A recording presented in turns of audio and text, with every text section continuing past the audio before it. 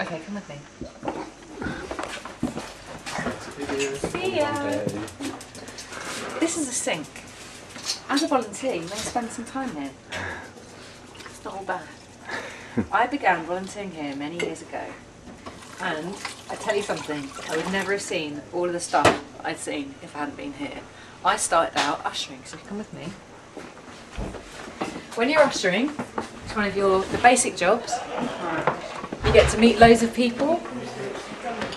You sit outside here, Oh yeah, you. you chat, you give a bit of jip, and then you ready. It's one of the most beautiful rooms in Bristol. There's 105 red velvet seats here. When you volunteer at the Cube, you get to see films for free if you work here. You get to see gigs for free when you work here. You get to meet people who are just. I don't know how I'd meet all the people that I've met if it hadn't been for the Cube. The Cube is one of the most important centres in Bristol, if not in the UK, for underground art, for making friends, for making things happen.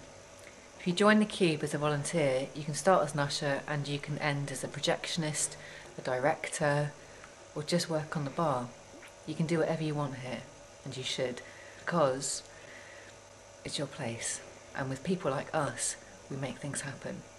So you should come along and have some fun. And that's all I've got to say, because I've got a film to watch.